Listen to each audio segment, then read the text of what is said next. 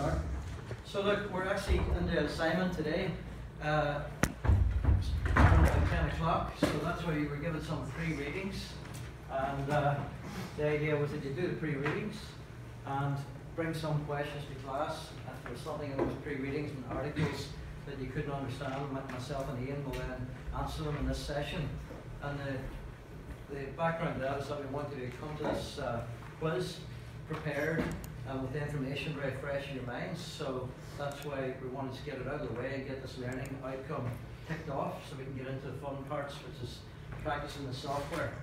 So I'm going to go through this slideshow, which again I made available to you on PDF, but some of the slides will need some backstories and background filled in, so that's what I propose to do this morning.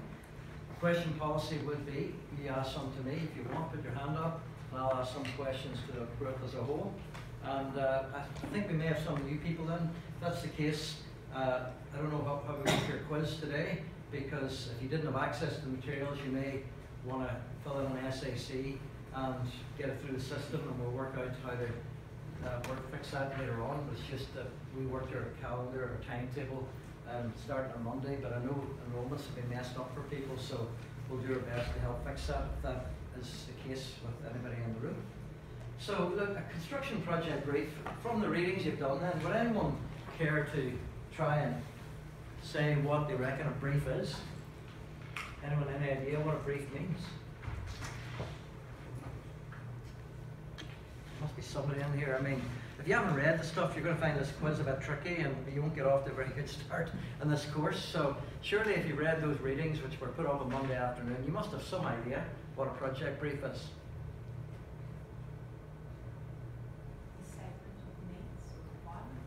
Yeah, that's one way of doing it. Um, statement of needs and requirements by whom and to whom in the case of what we're studying. Sorry? So the client would be, what would he be providing? The requirements. So he's basically, basically what a brief is, he's saying it's a statement of a problem. The problem is we've got, we need to design a shopping centre, we need to design a leisure centre, there's a need for a new school, there's a need for a housing development, and the city's expanding like Auckland or wherever. So how do you define what's needed? Because the designer can't read people's minds the same way tutors can't read students' minds. We have to try and probe and find out, well, what is it? What do you need? What course are you after? And the success of the design or otherwise will depend on how good the communication is between the client and the designer. So you've got to clearly state and articulate what it is you want. Otherwise you can't complain if the architect doesn't do a building and you say, well, it doesn't do what I wanted. I wanted a different room. I wanted a coffee shop. I wanted a library. Well, it's not written down in this uh, document that you gave me. So it's like briefing someone on what they have to do. You look at these kind of Star Wars or movies, war movies, and the guys get together for a mission. Our mission is to design a building, construct a project, and we've got a whole lot of background information to do before we even get started, okay? So yeah, statement of requirements. so this uh, learning outcome, the, the importance, implications of defining a thorough project, including elements such as site, client, constraints. So defining is how you actually explain what it is, state categorically, clearly what it is, so the person you're communicating with can completely understand it. So if it was an architectural competition, you'd want to make sure all the people entering are getting the same information so that they're competing on a level playing field. So some criteria, factors would be the site. So what kind of things would the designer need to know about the site, do you think? And this is common sense, so don't worry about putting up an answer you think might not be so clever. What kind of things, even very basic stuff about a site, what do you think an architect, if you come to my office and tell me, yeah, I've got a site, what can, what's one of the first questions I'm going to ask you? See, if somebody said something sensible there, shout it out again. Yeah, exactly. Where is it? Is it in Auckland? Is it in Hamilton? Is it Northland? You know, is it overseas? Do you have to travel to get a look at it? Because most uh, designers will want to visit the site. Some architects think it's a crime if you don't. But I guess with Google Earth nowadays, maybe you can do it a bit better. So yeah, the site, where it is, and the physical things about what size this is. Is it on slope like this lecture theatre? Is it flat? Is it urban? Is it rural? The client? Okay, what types of client do we have? Say, who would want to design just a simple house, do you think?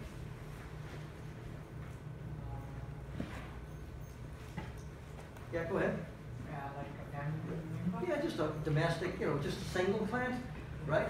Whereas if you were doing a, a project like a leisure complex for Auckland City Council, that's a client body which could be 20, 25 people. It could be a school for a board of governors. It could be like the home they did for Unitec. There's different types of clients as well. And you might want to find out is it a government client, public sector, which is government, or private. Constraints. Do we all know what constraints means? Is anyone here not sure what a constraint is? So everybody in this room knows exactly what a constraint is. Yeah? So can someone, if I'm going to pick on somebody then, okay, so make you a bit nervous. So all you people on the computers up there, I'm going to ask, yeah, I'm going to ask you, sorry, you just looked up first. Give me an example of what a constraint would be, and maybe towards a building project.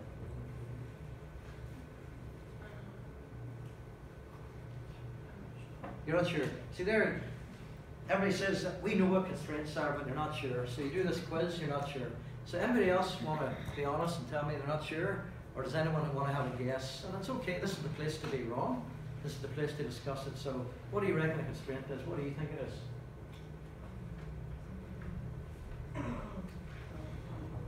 Oh, you're a bit sick? Okay, I'm going to go somewhere else. All right, that's no problem. All right, what about you? What's the constraint? You don't know? Oh, this is really good. Uh, you obviously know her, so that's great. I'm going to ask Tom first. Is that right? Something um, restricts. Do you think he's right? Yeah. So Tom said something that may impose restrictions on what you can build. Okay?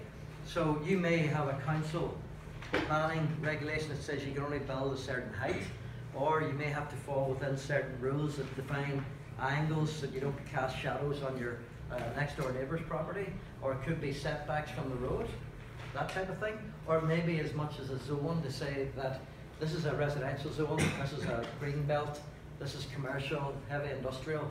So if you want to put a tire factory or a nightclub in the middle of some kind of housing estate, the council may have problems with that. So basically a constraint is something that puts limits on what you may be able to put on a certain site, okay? So that's what a constraint is. It may be a physical constraint where you say, well, the site's only so big. But some countries take that as a real challenge. You look at like Tokyo, the plots of land are so narrow and yet they have created some very innovative living spaces and really used the spaces to a premium and to the best advantage. So some designers really take that as a challenge to be risen to. Okay, so constraints, if you don't know what that means, hopefully that little discussion will clear that up. Time, what, what, what's the time factor here? Why do you think it's important?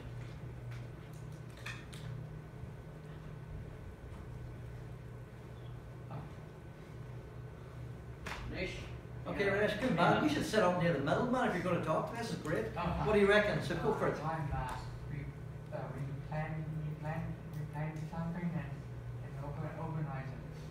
Yeah, well, do you know where you guys have got to get assignments to do? and there's a deadline, we say, well, you have to have this assignment done in three weeks. It's the same with the project as well. So you're not going to come to me and say, yeah, I want a school. All right, okay. When after? Just take your time. It's all right. No, not really. Well, there's kids here, but they can go into caravans for a couple of years. Nobody's worried. All right. But so normally people will say, we want this project by a certain time. And say if you're doing a hotel on some kind of holiday island, you say, well, I want to get it open for a certain season. So your deadline is, I need it open by May in the northern hemisphere, November, whatever down here. You may be doing something like a shopping centre, and you may say, well, I want this open for Christmas because that's when people are out buying presents for all the family, and that may define when the opening date is. It could be a football stadium. I mean, do you remember all these Olympic bids? Remember Brazil? And they were trying to get these stadia all finished in time. Uh, the minute I know the team that I follow in London, they've got a stadium that's meant to be open in a couple of weeks. It's not going to open in a couple of weeks. But, uh, you know, they, I think the clients there are really pissed off about that. And it's costing nearly a billion pounds, which is two billion New Zealand dollars. You think for that money, they should have been able to finish it. But it's crucial to know how much time you've got, how much time you can allocate to digging up the research on the site, conceptualizing ideas, putting those ideas into a format that people, like clients, can understand, come back to you with recommendations, defects, or whatever it is, taking it to council, how long will the council take to process the application, how long will it take to get back to you, Resource Management Act, Building Control. These are all things that will come into this time equation. And then you're trying to work back from a deadline saying, well, look, guys, we need to be here. We need to get this out to tender. And, you know, you just don't have an infinite amount of time to do the project. So normally the brief is going to define, listen, we need this done by a certain amount, uh, nine months, six months, two years, depending on the scale of the project. Cost, we all know what cost is. Everybody's concerned with money. What do you think the quality could come into? Anyone have any idea what that might refer to?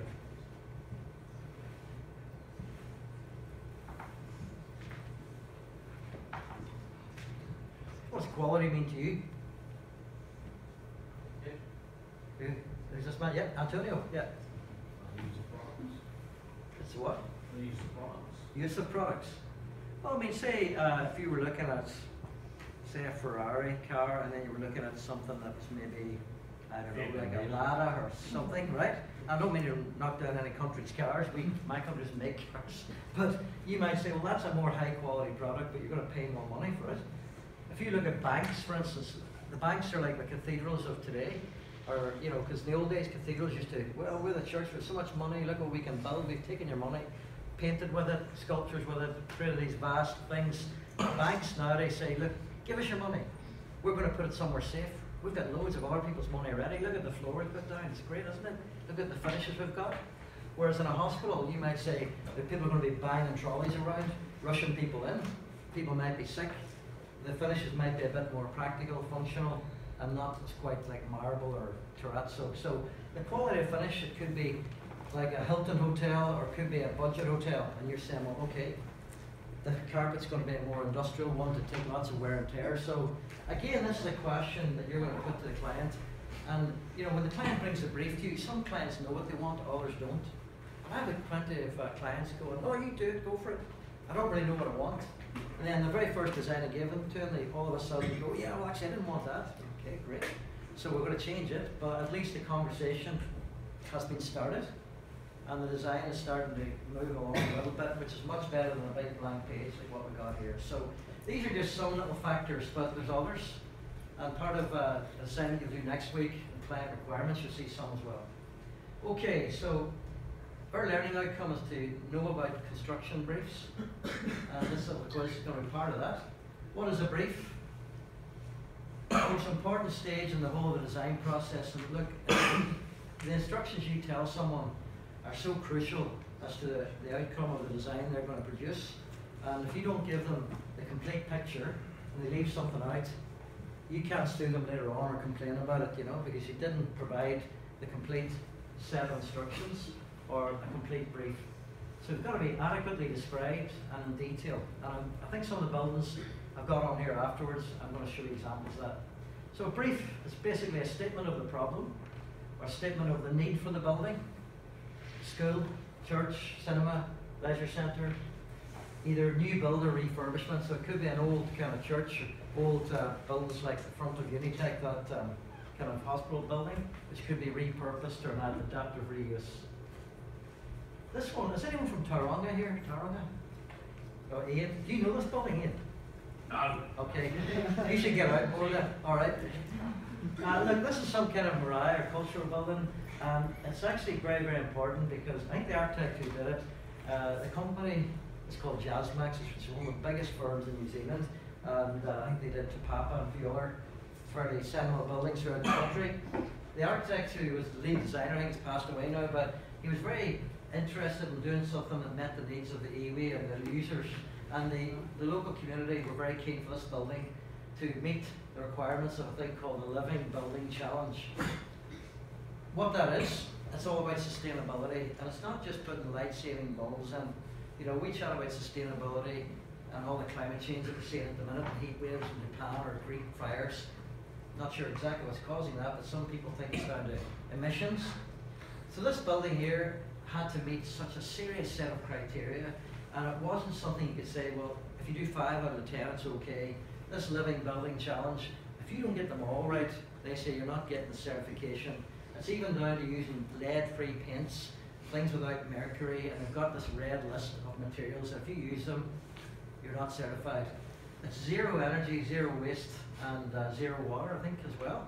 And it's got, you know, harvesting rainwater and things. So what I think I'm trying to say is that the, the client here really bought into the architect's kind of mission statement to try and make this a really eco-friendly, sustainable building. And that was something they stated right at the start. And the brief was expanded to meet that. So the brief, client could come to you with a brief and you might say, have you thought about this? And the brief could start to develop a little bit. So that is something which happens as well. So if you're down, this is a Ngāi Tūhoe, sorry for my pronunciation, I'm not even gonna try this one. But the Living Building Challenge, if you look it up, you'll see it's a really, really tight uh, sustainability, sustainability certification. Started in America, but throughout the world now in different places. And uh, Jasmax uh, bought into it and certainly in a big way in this building. Now, when you're working, you want to get paid, and the type of building, of which there's many here, and no one expects you to learn these off. I'm just showing you that uh, part of the brief. When you're getting the first discussions underway with your client, you might want to know, well, uh, excuse me, how much am I going to get? And uh, depending which country you're in, it could be a certain percentage, and it could depend on what type of purpose group the building belongs to. You know, well, it's kind of a, even though it's a big building, it could be a shed. But other buildings, like they've got air traffic terminals here, very highly sophisticated. Something like hospitals would be very sophisticated and highly serviced. Maybe even laboratories that make semiconductor chips for uh, memory chips. I think they are even more sterile than surgery wards, I believe. So that's the kind of ones that would need very intensive briefing before you could start to commence design. So sample of fee scales, building classification, and that could be something that's part of your briefing discussions. Um, design is not an exact science. Some people might take concept from somewhere. Uh, others may pose problems of circulation, fire safety. Um, design develop any scheme little value unless the client's needs are being fulfilled. So you could do a really beautiful looking building and yet does it actually serve the purpose for which it's intended? An example might be Sydney Opera House. So does anyone know that building? Does anyone in here not know that building? 'Cause if, if you don't, it's probably one of the most famous buildings of the 20th century, real iconic structure for Australia. And it cost a lot to build it, and because they didn't really know how to put the foundations in at the very start. But it's a beautiful building. They want to keep it there for 500 years based on the maintenance program. But some people would argue it's not the best opera house in terms of acoustics. So there's where you say, well, okay, have we compromised the real purpose of that building just to get a beautiful work of art? Maybe. Uh, so you may find that this building is actually a house in parliament in Germany. And the idea is that you can, if you go to Berlin, you can walk up around here, but the, all the MPs are down here. And the idea is that the public, people can see them working. And after Germany was opened up and got together, I guess they wanted to make it look as if it was more open society based on the history of the country, I suppose. So architectural competitions, uh, an office I worked in, one time we had to do a church for one, and we got a document which was about 25 pages telling us what happened for all these kind of people celebrating these religious services and how important things were and how we had to address this in the design. And it was very, very complex. And ironically, the guy, my boss, he, he wasn't religious at all, uh, agnostic, and uh, but he did a great design. He won the competition, which is funny, but uh, he did a great job of it. So in a competition, you really have to state exactly what's needed. And I think this one as well, Te Papa, was a competition. And, you know, when the people want to enter it and they pay them a fee to enter, you're going to get information back which could take the form of a brief. And you'll read it. And if you have any other questions, you'll send them into the committee who will probably try and answer them and send out the answers to everybody. A bit like a, a news forum query on Moodle. Now, Yes? so is the brief the competition? Well, That's it. And it's, a brief can be used in an architectural competition, but not every architectural project's a competition. I'm just telling you that, you know, I've got. a another st- way. Yeah, I mean, every project I would say should have a brief, because otherwise you say, well, just you get started, what are you designing, whatever you want. You've gotta tell them what the building is. And then you say, if it's a swimming pool, all right, is it just one pool, or is it three, is it a diving pool, is it a spa? And right away, you're starting to bounce on and develop the thing, you understand? But all I'm making the point of the competition here, Rochelle, is that if we're competing, you want to make sure everybody's competing on a level playing field, which means that everybody's getting the same information and it's got all that level of detail to allow you to really produce something that meets the needs of the clients. Yeah. Um, I'll admit, no, no, I wouldn't say it's that common. I mean, the real star architects, right? If you look in the magazines, a lot of them have done competitions like Renzo Piano, Norman Foster, you know, Daniel Libeskind, you know, that thing in New York after the Ground Zero, that was the competition.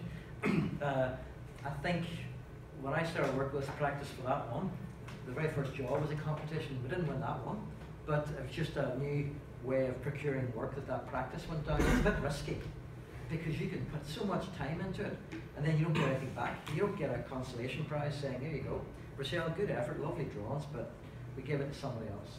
Yeah?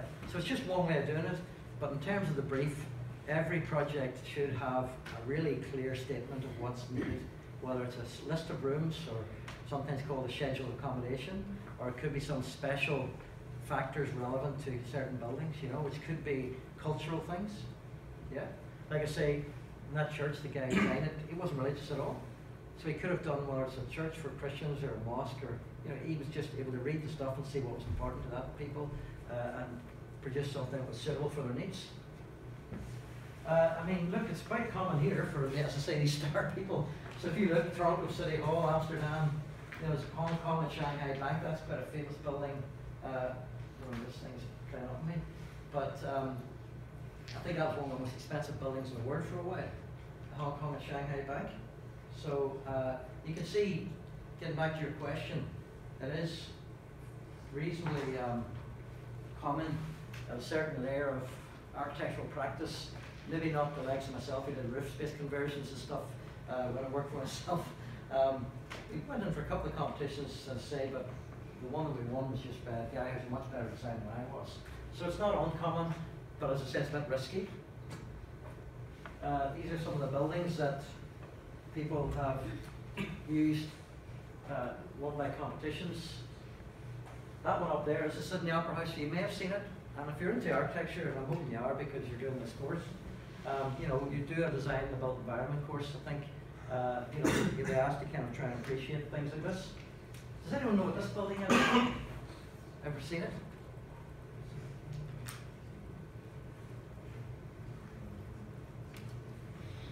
No idea. They don't know what type of building it might be, so we don't know what the building is. So let's guess what it might be. So you're looking at something here which has got a grass roof. Any idea what that is?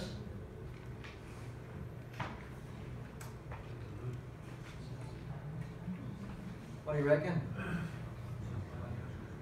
What do you think? What type of building is that one? Would be like I say, is it a school? Is it a FBI headquarters? Is it a church? Yeah, it's Parliament. What do you reckon this? It's Parliament, there's say so, yes. Parliament House Street, exactly. So, so there, no make it read.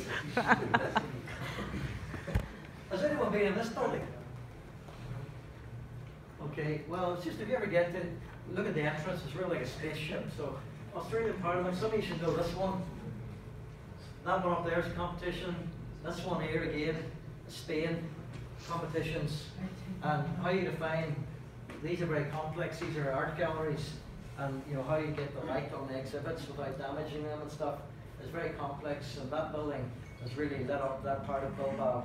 Listen, if you got your phones on, unless you're checking into that thing, please knock them off. We don't want distractions. So I hope I don't have to say it every lecture, but um, that was the one. Yeah, we had one. Now, information, let's get back. Uh, my thing is broken here, so I'm to have to just walk around. Uh, clients needs to be clearly defined, so I can't kind of emphasize enough that you as a client have to instruct and provide the information to the designer of what it is exactly you need. Now, these are just examples of stuff. Could be the site layout, could be the parking, could be access, uh, you know, loading for maybe a supermarket, could be the finance, how you get to the finance, uh, what's your business plan, how much money can I spend, that could affect the quality. Local authority demands and statutory approvals could be restrictions, like that uh, church one that I showed you there. If I just go back a little bit. This is a slate roof. And red bricks, and that was a constraint that was put on by the competition brief. They said, look, this has to be, eight hundred people have to fit in here, but it must be red bricks, and it must be natural slate. You can say, well, so what then? Well, natural slate can really only go down to 22 and a half degrees, so it meant that that building could end up looking like a big square pyramid unless you did something quite funky the way that designer did to try and break it down. So sometimes the restrictions will impact on your design, in fact, nearly always, I'd say.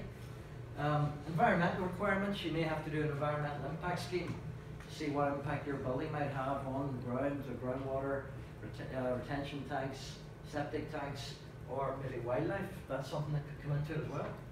And factors specific to the particular project, if it's laboratories, for instance, which is a building I'll show you soon, uh, that was one we had an awful lot of uh, discussions about. List of rooms, crucial. Statements defining their needs. What's going to be done in that room? Is someone going to be a jeweler where they need some task lighting? Or is it something like a classroom where maybe some lights a certain height above the plane of the working plane is sufficient? Uh, is it going to be something that they're working on dry or a wet environment, in which case the light fittings have to be some special high-tech waterproof fittings? Okay. Is it going to be security? Is that a factor? Is it going to be something that needs privacy to stop people hacking it? Is it going to be a storage archive? Is it a factory? Is it a production line? All sorts of questions which do not need a degree in architecture, guys. They're just common sense. And if someone had a gun to your head, you probably would ask those questions in real life. Okay? This slide, I'm not going to read right the way through it, but I just want to pull up a few things in it. We see this word finite. That means something which is kind of complete.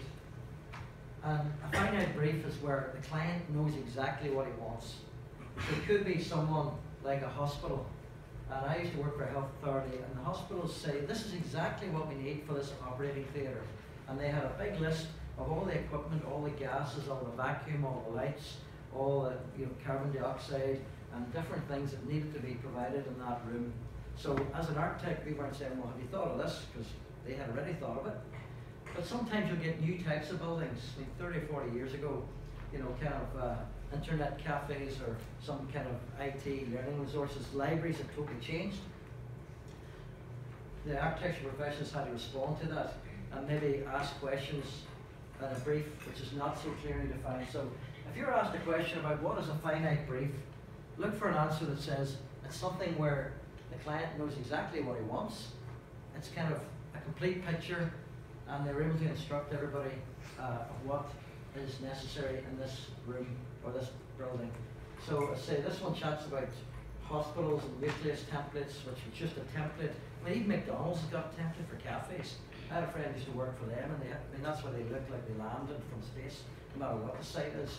But they've got what they see is a very efficient template for supplying you guys with burgers and us being able to sit there and eat them quickly. So um, that's look out for that word. Finite means kind of complete, well known, and doesn't have to really be expanded. And this is an example of that nucleus template, these kind of crosses. So all the services and lifts come up the middle, and these are like wards. There's different kind of theatres and operating theatres. So uh, the only scope we had as designers there was to kind of use fancy cladding on the walls, on the roofs. But the floor plans, you know, apart from creating a few little courtyards, we were kind of a wee bit restricted in what we could do.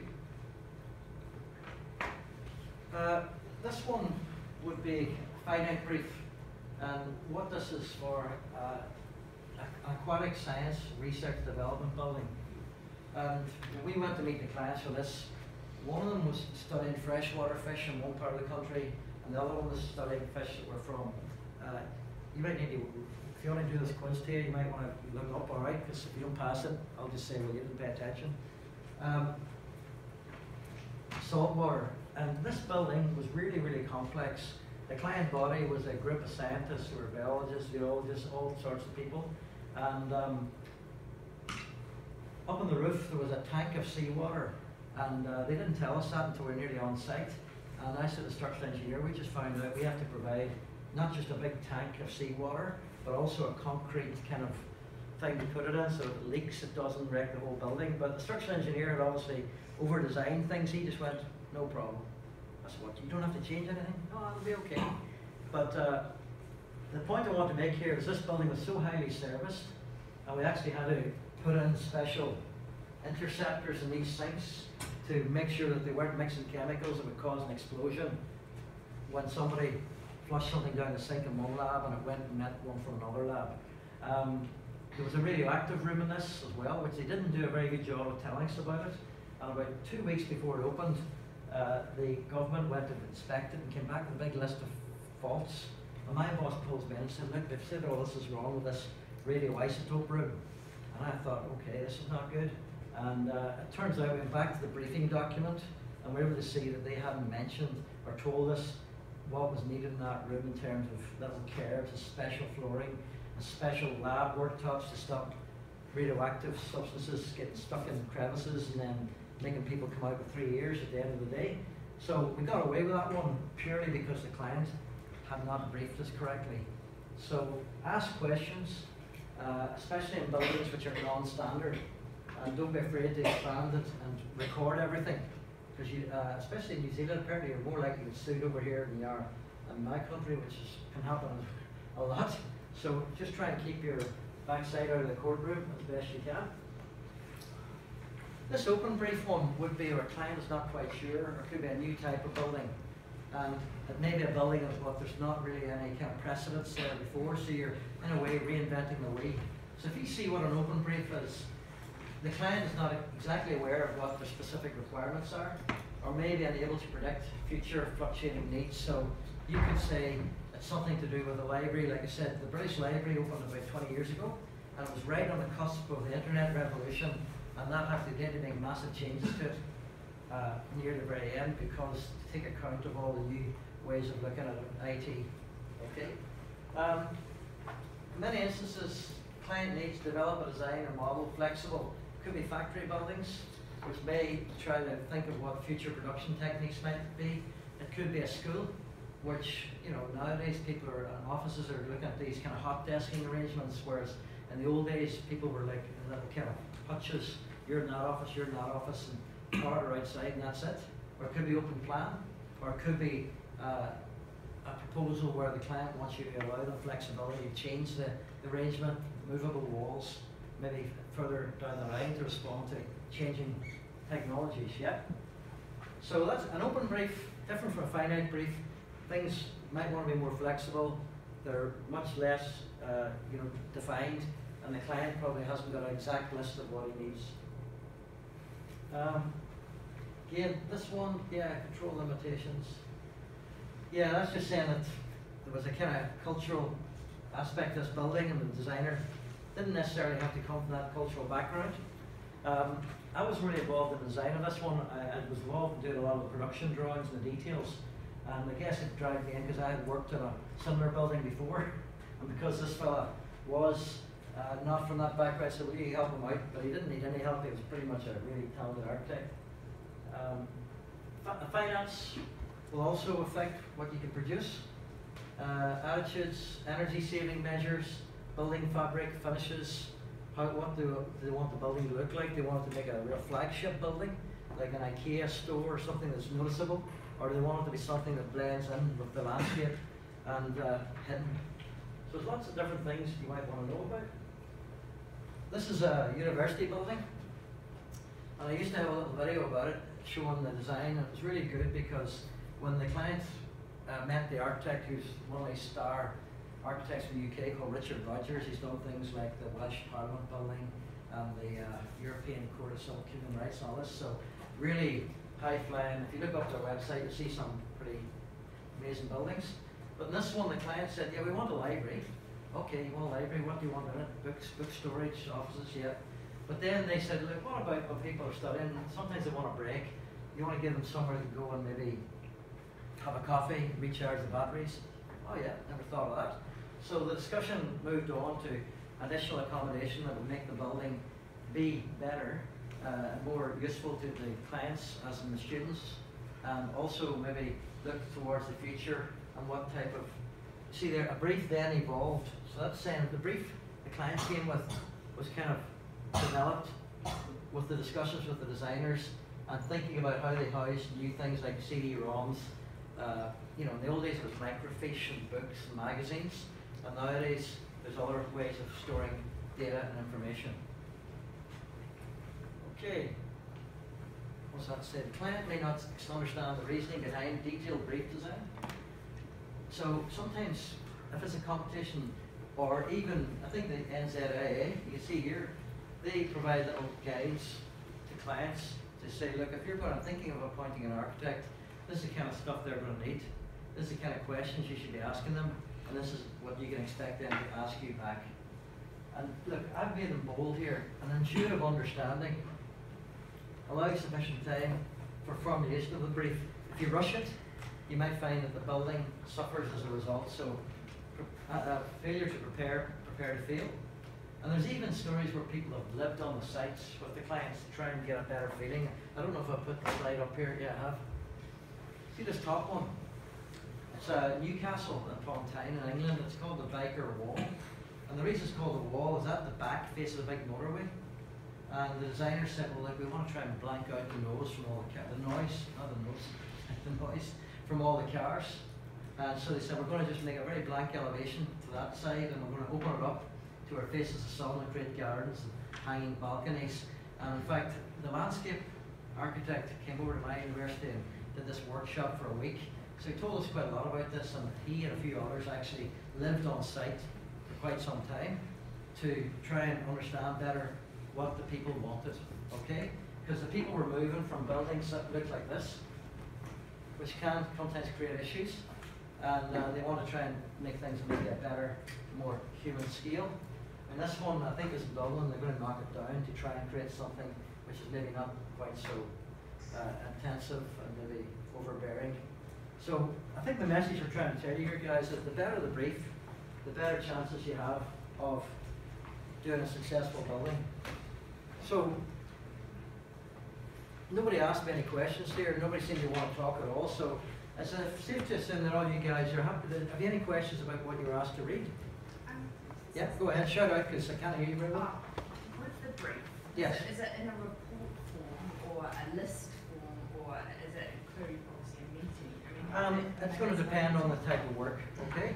So if it's, I mean, I'll be honest with you, quite a lot of the work I did in my personal thing, the clients don't have a brief, they just go and you kind of interview them. Yes, You know, they just know that they want a building. They've got a statement of some kind of thing, but they're not sure what they want in it. And maybe chat to Ian or me, they might say, well, okay, I never thought of that, or have you thought about this? I mean, I remember going to a job in Scotland, and um, then this guy wanted to extend something. I seem to remember, um, I walked right in and said, what's that, what's that? Okay, and she said, let's knock that down, knock that down, and knock this down. We're gonna, I said, sorry, what did you want again? She said, no, it's okay. And he did, he just did what I, it turned out okay actually, you know, I mean, he flew me back over for the opening of it, that was great. But I remember, th- that was quite an extreme thing, I probably shouldn't have done that, but it's, um, yeah, but he was quite happy. But normally, it doesn't have to be a formal thing. Um, but look, your way your office works might be a way of kind of gathering information, and once you start a job file, you will record this stuff. And it may be because later on they say, well, hey, you didn't, this building doesn't do what I wanted to do. Oh, excuse me, here's the meeting we had, here's the notes I had, I sent you them to an email, you signed it off. So, if you want something else now, that's additional costs, additional work, additional fees. So, it's just again a case of keeping everything organized and recorded, so to protect yourself. But if it's an architectural competition, you can expect it to be a really big brief, yeah. And sometimes they do these design and build competitions where you might have an architect working with a contractor and they'll do a proposal. And those things would have to be very clearly defined as well. And again, it might depend on the type of project. They might say, here's the site. I mean, I remember a city I worked in, they had a theatre and they had three different sites. And the, the, the brief was, look, you come up and decide which of these sites you think it should be on and justify it and give us your design proposals. So it doesn't have to be a report. It can take many forms. But I would say the ones I'm familiar with are little booklets stating what the thing needs. And as I say, that church one especially was getting right into all the, uh, the symbolism of why they had to process and the different. I mean, I remember doing that and saying, well, okay, there's doors there, yeah. I said, look, I remember going to churches and people dead. They always have to hunker down carrying coffins. That's a fairly morbid thing to say, but I said, well, look, why don't we do bigger doors? Why don't we make ones wider so that they can just walk through with a bit more dignity? You know, and I think, oh, never thought of that. So, you know, this is kind of things that came about as there was discussion. Mm-hmm. So, does that answer your question? Okay, thank you for that. Anybody else, any questions? I think everybody's name begins with R. Ganesh and Michelle, they seem the only people asking questions, so any questions over here? So do you know what the Australian Parliament building looks like? Yeah. Okay, good. All right. Don't worry, it's not a question in the quiz. Well, look, it sounds like you guys are all experts, since the pre-readings must have been great, Ian. I'm really feeling good about that. So you can have a break, and what's going to happen is uh, we will go back to our rooms. You're going to go back to the same people you had on Monday. If anybody wasn't here Monday, we'll try and sort out where we put you, and you can tell us why you weren't here Monday or what the reasons were for starting late. Now, just before you close things, uh, the quiz is going to be under exam conditions, so that means your bags are going to be at the front. You will log in to Moodle. It's under the uh, course uh, project brief intro tab. It'll become available at 10 o'clock. It's a closed book quiz. If you're seen using phones, you'll be disqualified. If you're opening all our tabs, you'll be disqualified, and you can have a meeting with our academic leader to explain why you were cheating. So we want to take things seriously. We've tried to prepare you, hence this lecture, hence the pre-readings. It's not a very hard quiz, guys. You could probably do it even with common sense. But hopefully with the background info we've given you, you can get some good marks and start banking some credit towards your final grade, all right? So does anyone have any questions about where they're going to go or who with? Uh, Ute's group that Policey covered on Monday, she's not back I think till tomorrow, so Tina will be Monday. is it Monday? Okay. So anyway, today Tina's going to be looking after you, so she'll be in that room, 114 1003, and uh, invigilating the test and also helping the Archicad. She's a bit of a guru in Archicad, so she'll help you develop your skills. Okay. Is there any other questions? No. If not, we'll call that a wrap then. Thank you. Oh, Sorry, your time was way out, Michelle.